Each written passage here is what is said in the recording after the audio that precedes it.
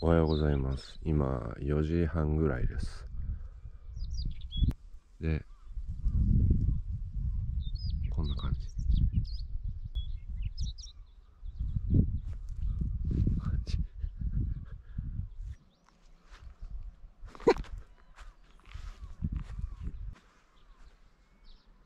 いかにもリーダーって感じ。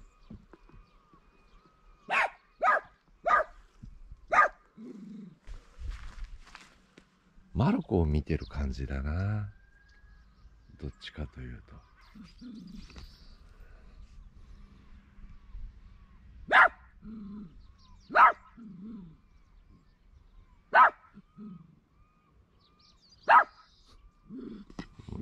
全然威嚇になってない。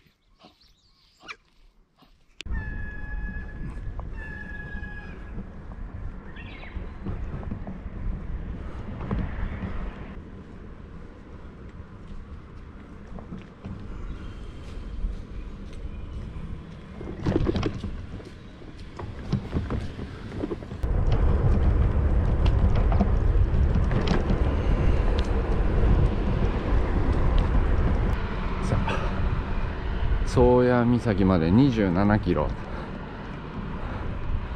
まあ2時間かな。宗谷岬に到着すればマルコは自転車で北海道を縦断した犬ということになります。うん。マルコ自転車引っ張って。はい。よ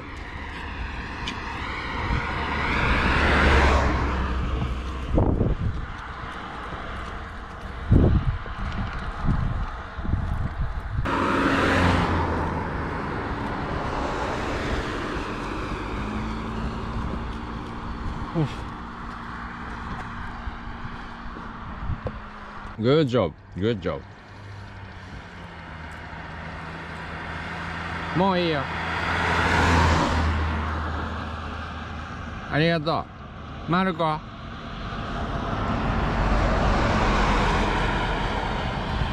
ええ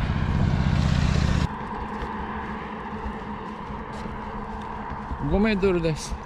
4、3、2、1、ゴール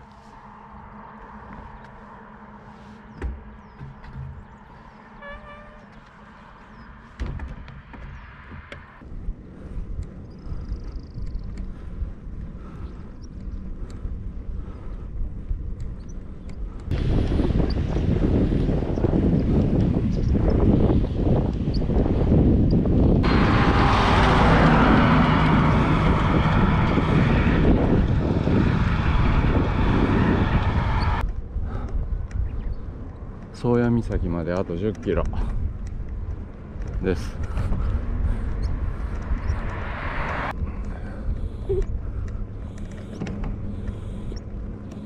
おい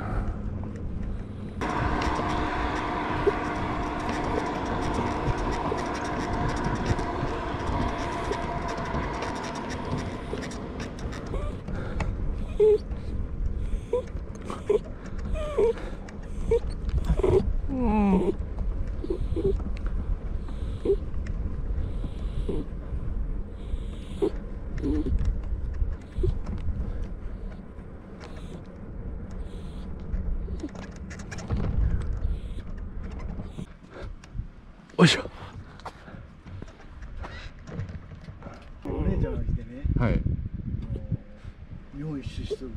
えで、でも私もそうだけど、昨日ここでやって、走ってる人いましたよって、あなたのことだ。あでやったみたいー女性ですか？女性女性は。昨日夕方ぐらいに多分すれ違った人かもしれないですね。はい。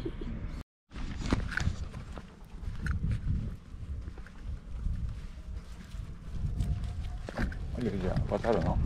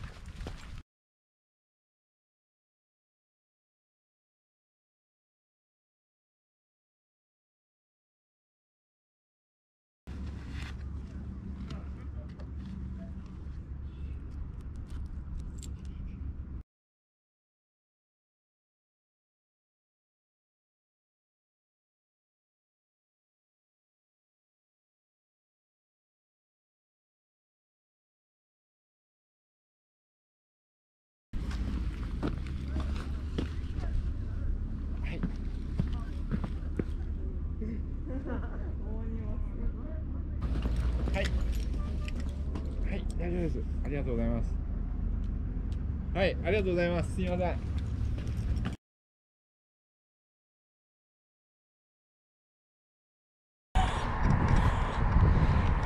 今すれ違ったキャンピングカーが昨日ノシャップ岬でお話ししたご夫婦だったと思います。やっぱりダックスフンドを前買ってらっしゃったそうで16歳で亡くなったっておっしゃってたかな。確かラッキーちゃんっていうお名前だったか。でマルコがそっくりなんだそうです。もう可愛がってもらってマルコも喜んでお腹を出して撫でてもらってました。が自転車にマルコを乗っけてるっていうのに興味を持って話をしてきてくださる方もいればもうただ単純にマルコが可愛いと。マルコ可愛いと。いうふうにマルコを撫でに来てくれる方もいらっしゃって。マルコよかったねいっぱい。いっぱい可愛がってもらえて。うん？